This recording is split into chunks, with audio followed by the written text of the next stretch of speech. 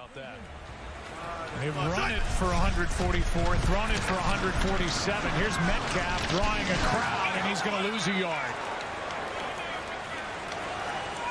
Peterson and Isaiah Simmons, who's playing more and more and more off his most defensive snaps in his rookie year last week against Buffalo. He was in on that stop right there 48. This was an excellent job by Arizona just rallying to the football and when you watch them play they they they play hard they're aggressive they're physical they really do a nice job in that regard. Greg Olsen is down getting attention and we will step aside.